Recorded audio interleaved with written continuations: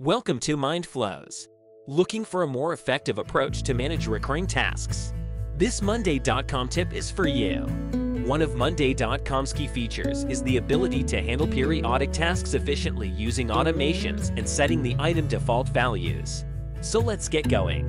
To do this, first you have to have a board where all of the recurring tasks will be managed. With all of the subtasks under each items as dates on our board, we will then have these created automatically through automations. Set the automation recipe. When an item is created, then create a sub-item. Repeat the specific action until all desired tasks will be included. Map out the sub-item fields with the names, owner, and status.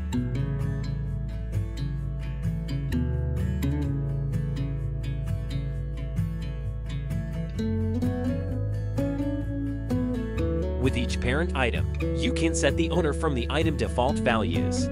Click the three dots, then the item default values icon and set the people column with the assigned task owner. Click the Save Changes button below. As for the due dates, create another automation recipe for this when status changes to new. Set date to current date plus one day. You can find this recipe from the Automation Center. And for this recipe to work, Make sure to add this also to the automations when an item is created. Set status to new.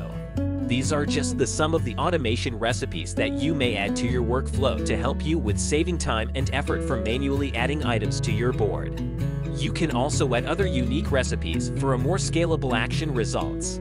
With all of these being added to our board, automating recurring tasks saves time, reduces the risk of human error, and provides a structured approach to managing repetitive work.